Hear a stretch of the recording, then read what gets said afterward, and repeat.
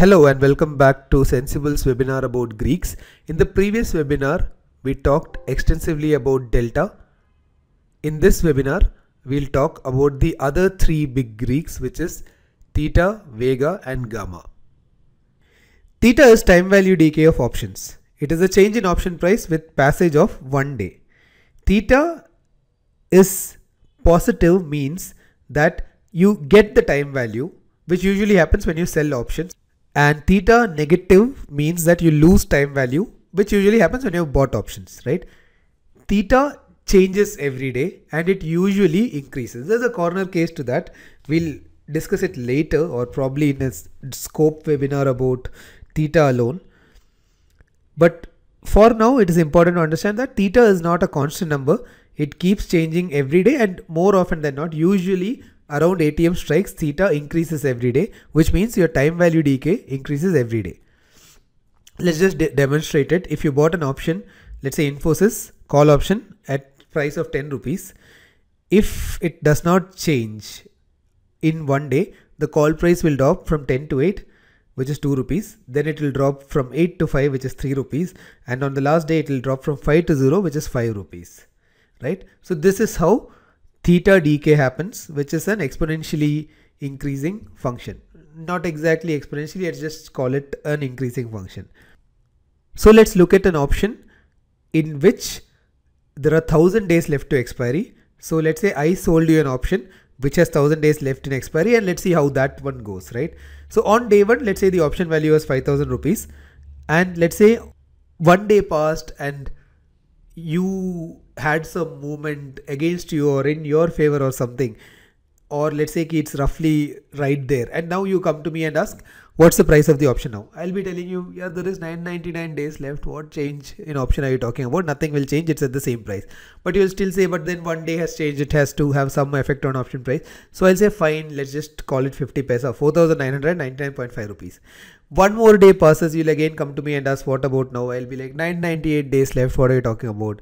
It'll drop a little bit. Right? So in the initial few days you can see that you'll always think about it like there are so many days left what should change right? So the option price does not decay because of passage of time much in the first few days which also means that theta decay is low in the first few days. But option price will rapidly drop towards expiry so the practical application of that is let's say you sold Nifty 11,000 ATM with 3 days to expiry at 40 rupees. The theta for this option is let's say around 7 rupees. Next day this option will be worth roughly 33 rupees and your theta based PNL is 7 multiplied by lot size 525 rupees. Or let's say you bought an SBI 270 call at 5 rupees, your theta is 40 paise. If market does not move, you lose roughly 0.4 into lot size 3000 which is 1200 rupees. That's quite a bit of money on a single lot, right? Yeah. So theta is something which you have to be very careful about. Okay, let's go on. What will happen to option price with passage of time? Options with less time left are cheap and they are massively cheap towards expiry and they are also less likely to make money. We already know this that options don't lose time value linearly. They lose less value each day initially. That's because no one cares if there's a hundred days left kind of and the loss is uh, very high towards the end which probably is because people really panic when it hits them. It's that's not really the reason. There's a mathematical reason to that but let's just understand it this way. So options lose value rapidly towards expiry. Uh, that kind of means that expiry buying of options is like a cheap lottery. But then cheap but then cheap lotteries also don't often come true so theta versus time, options with a lot of time decay slow, options with very little time decay fast, which is true for ATM and near ATM. There's an OTM corner case, but again, we are not discussing that here because these options are so OTM that you practically wouldn't care about their value. So theta is nearly zero for deep OTM options. It gradually increases and peaks at around ATM and drops back to zero for ITM.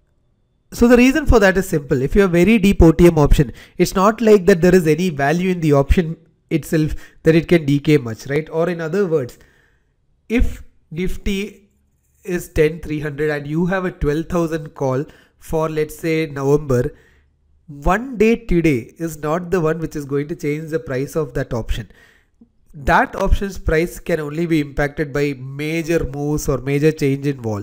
The, like one day's passage is the last thing you should be worried about when you have a 12,000 call with 30 days to expire, which is 1700 points away.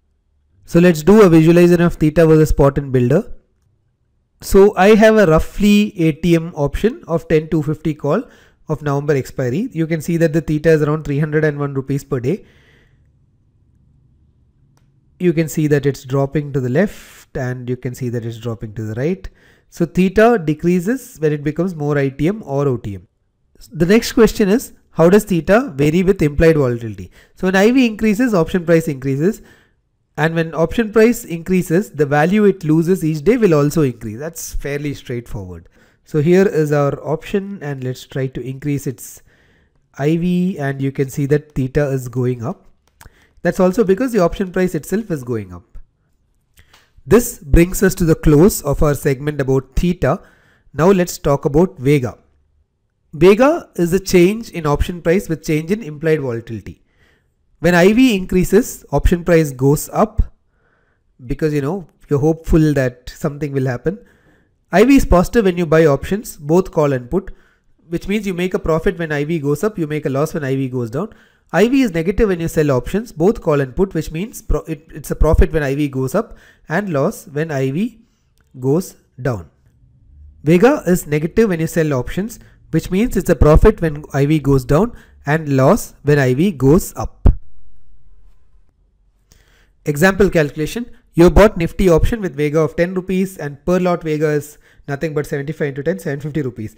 If Nifty vol changes from 13 to 14, you will gain 750 rupees on Vega. So he, here's an important piece of information.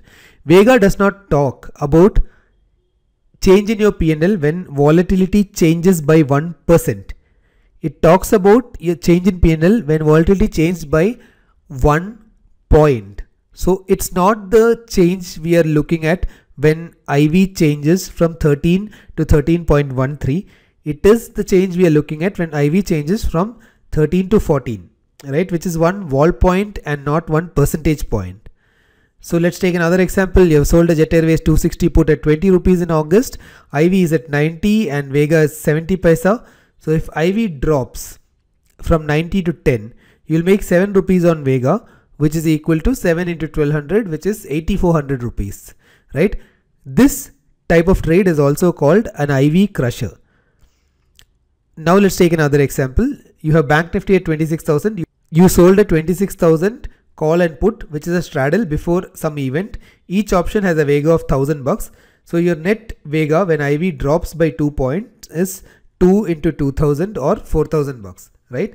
This is how people uh, trade during, let's say, events which turn out non-events and make money on IV. So Vega, much like theta, starts zero for deep OTM gradually increases, peaks at ATM and drops back to zero for ITM. Reason is simple, right? If you have very deep OTM option, it's not like increased volatility will make you any money. It's, it's practically gone. So that's why the Vega is very low on that. Similarly, if you have deep ITM, it's not like increased volatility is going to lose you any money. It will stay ITM if it is ITM. Therefore, the Vega value on that is practically zero. So let's say you have a nifty 20,000 call option with one month validity and if there's an RBI event tomorrow, it's not like the option price will change. No one cares about the volatility when that uh, strike itself is so far from ATM. Uh, but let's say I have nifty 7000 call option with again one month validity. This is as good as future. So future doesn't have a Vega, right? So if you have a 7000 call, it is as good as having a future. There is no Vega on a future. Therefore the Vega is zero. There's a there's a exact reason to why Vega is zero even in a Nifty ITM or any ITM option, right? But we'll figure that out uh, in another webinar probably. But for now, it is more important to realize what is the connection between Vega and Spot. Now let's do the visualization of Vega versus Spot. So I'm going to add a Nifty 10 to 50 call and here's the Vega. You can see the Vega is around 226 right now this option is around ATM I go left Vega drops. I go right Vega drops. Next let's talk about Vega versus time. So if there is more time volatility can cause big moves right? So you are giving volatility so much more time to work its effect which means that if you have an option and its volatility increases, if it has enough time left to expiry, it might just work in your favor or against you depending on how it goes, right? Which means that an option with more time left will benefit more if volatility increases, which means that it has a higher sensitivity to volatility in the presence of a higher time to expiry. Therefore, long dated options have higher vega and short dated options have lower vega. Or let's go for a December option even better. So you can see that it has a vega of 1300 bucks per lot which is immense. If time to expiry goes down you can see that the vega is steadily dropping. Finally we talk about gamma. Gamma is a change of delta with change of spot. It is the second derivative of option price with respect to spot. Gamma matters only when you trade near the expiry, trade near the ATM and trade in big quantities. This is a curve of gamma versus spot. So again much like theta and vega you can see that gamma goes up, peaks near the ATM and then comes down. Gamma decreases with increase in time to expiry and this is because delta does not change much when there's a high number of days to go. This is because if there is a lot of time left to expiry, the delta of the option is almost always close to 0.5, right? So it doesn't change much. Therefore, gamma is very low for a long dated option. gamma decreases with IV and this is because again delta did not change much like we explained earlier when there is high IV. So if there is high IV, delta is more or less sticky and because of that gamma is low. The practical applications of gamma is as follows.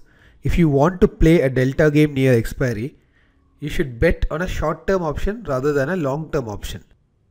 Let's summarize everything we have learned in this webinar plus the previous one on delta. Let's look at theta, vega, gamma first because they are similar in their behavior and they can be grouped and understood simply. So theta, vega and gamma they all peak at the ATM.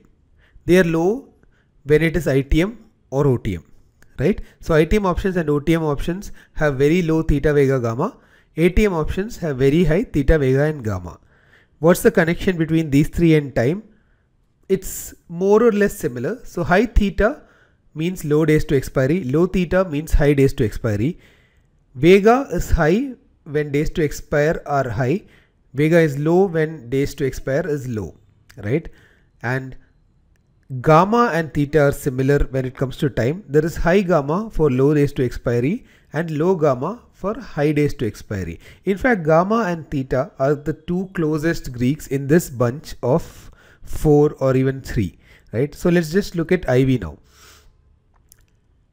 Theta increases when IV goes up and theta decreases when IV goes down. This is also something which we discussed earlier. Now let's look at gamma because that's closer.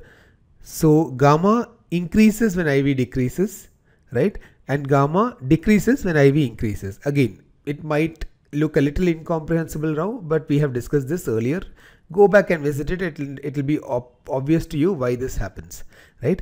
Finally, what's the connection between Vega and IV? Okay, this is a little bit of a toughie. If you're really interested, you can see what happens in the builder, right? Because this is a derivative of Vega with respect to IV or it is a double derivative of option price with respect to IV right? Now that we have done with theta gamma vega let's look at delta. So delta is in increasing from 0 to 1 all the time. In case of an uh, put option it is 0 to minus 1 right? Delta has this relationship with time if it's an ITM option it decreases when time increases if it's an OTM option it increases when time increases Delta has this relationship with IV. So if it's an ITM option, delta decreases when IV increases. And if it's an OTM option, delta increases when IV increases, right? So that kind of summarizes everything we have learned in the last two webinars. I hope you're able to understand and appreciate Greeks in a much better intuitive manner now and you're able to make uh, reasonably good trading decisions on choosing which option is better than the other for your particular view using this understanding of Greeks. Thank you so much for joining us and have a great time trading.